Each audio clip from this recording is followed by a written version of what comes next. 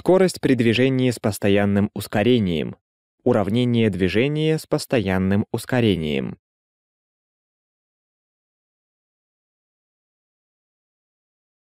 Выясним зависимости скорости точки от времени при ее движении с постоянным ускорением. Для этого воспользуемся формулой. Вектор ускорения равен отношению вектора изменения скорости к промежутку времени, в течение которого оно произошло. Вектор изменения скорости равен разнице двух векторов — вектора скорости точки в начальный момент времени и вектора скорости точки в конечный момент времени. Интервал времени можно вычислить как разность между конечным и начальным моментом времени. Подставив эти выражения в формулу ускорения, получим, что ускорение равно отношению разности вектора скорости точки в начальный момент времени и вектора скорости точки в конечный момент времени к разности между конечным и начальным моментом времени. Если начальный момент времени принять равным нулю, то получим, что вектор ускорения равен отношению разности вектора скорости точки в начальный момент времени и вектора скорости в конечный момент времени к значению времени. Из этой формулы мы можем выразить значение вектора скорости точки в любой момент времени. Получаем, что вектор скорости точки равен сумме вектора начальной скорости точки и произведения вектора ускорения и времени. Этому уравнению, записанному в векторной форме, на плоскости соответствуют два уравнения для проекций на координатные оси ОХ и ОY. Проекция вектора скорости на ось ОХ равна сумме проекции на эту ось вектора начальной скорости и произведение проекции вектора ускорения на ось x и значение времени. Проекция вектора скорости на ось OY равна сумме проекции на эту ось вектора начальной скорости и произведение проекции вектора ускорения на ось OY и значение времени.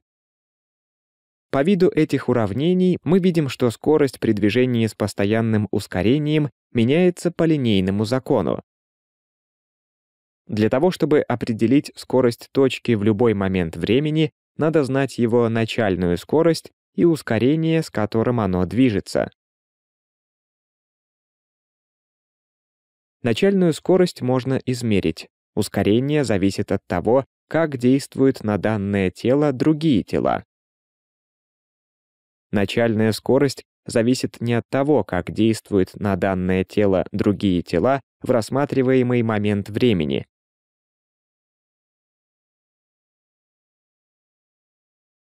а от того, что происходило с этим телом ранее. К примеру, начальная скорость тележки, которая катится под горку, зависит от того, просто ее отпустили или же толкнули, совершив некоторое усилие. Совершенно противоположная ситуация с ускорением. Оно не зависит от того, что происходило с телом в предыдущие моменты, а зависит только лишь от действия на него других тел в данный момент времени. Катящаяся под гору тележка затормозит или даже остановится, наехав на кочку. Ускорение, полученное тележкой, будет зависеть от того, какое воздействие окажет на нее кочка, то есть от величины кочки. Зависимость проекции скорости от времени можно наглядно изобразить на графике. Горизонтальная ось — это ось времени. Вертикальная — ось скорости. График имеет вид прямой, выходящий из точки, определяемой значением начальной скорости в момент времени, равный нулю. Если тело не имеет начальной скорости, то график зависимости проекции скорости на ось ОХ от времени представляет собой прямую, выходящую из начала координат. На рисунке этот график показан в виде прямой L. По этому графику можно найти проекцию ускорения на ось x, так как в данном случае начальная скорость равна нулю, то проекция ускорения будет равна отношению проекции скорости в какой-то момент времени к значению времени. Для определения значения этих величин можно выбрать любую точку и восстановить из нее перпендикуляры к осям. В нашем примере значение времени 5 секунд, значение скорости 30 метров в секунду. Подставив в формулу полученные значения, получаем, что ускорение равно 6 метрам в секунду в квадрате. Графики 2 и 3 соответствуют движениям тел с начальной скоростью отличной от ноля. График 2 соответствует равноускоренному движению, так как с течением времени скорость данного тела увеличивается. График 3 направлен вниз, значит значение скорости с течением времени уменьшается. Это график равнозамедленного движения. Угол между графиком и осью времени зависит от модуля вектора ускорения.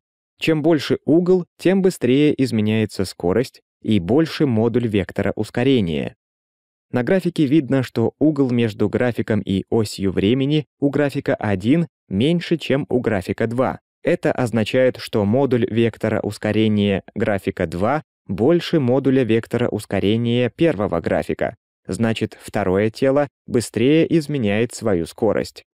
Тела 2 и 3 движутся с одинаковыми по модулю ускорениями, потому что графики их движения образуют с осью времени одинаковые углы. Теперь выведем уравнение, позволяющее рассчитывать положение точки для этого движения в любой момент времени. Предположим, что движение с постоянным ускорением совершается в одной плоскости. Обозначим плоскость x, o, y. В том случае, если вектор начальной скорости и вектор ускорения не лежат на одной прямой, то точка будет двигаться по кривой линии.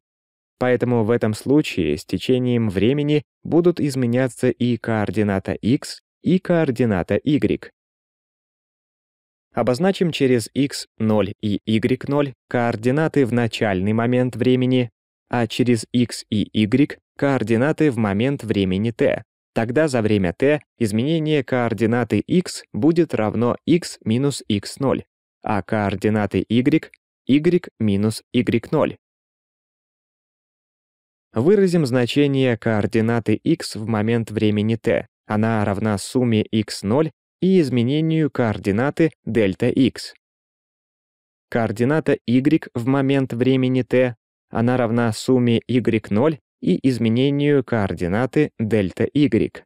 Значит, для нахождения положения точки в любой момент времени надо знать ее начальные координаты и уметь находить изменения координат за время движения. Если движение происходит так, что проекция скорости изменяется со временем, величину дельта x за время t можно найти следующим образом. Мы уже изучили, что при равномерном движении изменение координаты точки за время дельта t можно определить с помощью графика зависимости скорости от времени по площади прямоугольника. Такой график изображен на рисунке. Длина отрезка ОС соответствует времени движения. Разделив его на малые интервалы времени, в этих пределах проекцию скорости будем считать постоянной и равной ее среднему значению. Теперь рассмотрим интервал дельта TL. Тогда перемещение на этом участке и, соответственно, площадь заштрихованного прямоугольника численно равна изменению координаты точки за время TL. Сумма всех этих площадей численно равна изменению координаты точки за время t. Чем сильнее мы уменьшим интервал дельта t, тем точнее будет результат. Если дельта t устремить к нулю, то площадь фигуры О будет стремиться к изменению координаты тела дельта x. Если мы имеем дело с равноускоренным движением, то изменение координаты тела численно равно площади трапеции А, Б, С, О. Длины оснований ОА и БС этой трапеции численно равны проекциям начальной и конечной скоростей, а длина высоты ОС — времени движения. По формуле для площади трапеции имеем дельта x равно произведению полусуммы проекций начальной и конечной скорости на этом интервале времени и значения промежутка времени. Учитывая, что проекция вектора конечной скорости равна сумме проекции начальной скорости и произведения проекции ускорения и времени, получаем, что дельта x равно сумме произведения проекции начальной скорости и времени и полусуммы произведения проекции ускорения и квадрата времени. Это пример, когда проекция вектора начальной скорости и проекция вектора ускорения положительны, Однако она справедлива даже в том случае, если одна или обе величины отрицательны. Изменение координаты дельта y можно найти таким же способом, и оно имеет аналогичный вид. Дельта y равно сумме произведения проекции начальной скорости и времени и полусуммы произведения проекции ускорения и квадрата времени. Подставив полученные значения изменения координат дельта x и дельта y в выведенные ранее формулы, получим выражение для координат при движении с постоянным ускорением как функции времени. Их еще иногда называют кинематическими уравнениями движения. Эти формулы часто применяют для описания как прямолинейного, так и криволинейного движения точки, Однако следует учитывать, что ускорение должно быть постоянным. При движении точки в плоскости x, o, y двум уравнениям соответствует одно векторное уравнение.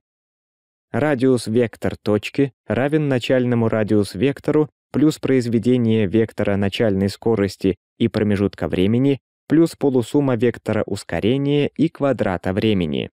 Следует обратить внимание на то, что при помощи этих формул можно найти только лишь положение движущейся точки в любой момент времени. Для нахождения пути нужно значительно более подробно исследовать траекторию, определить точки, в которых могло произойти изменение направления движения. Полученные уравнения вместе с формулами для проекции скорости дают возможность решать любую задачу о движении с постоянным ускорением.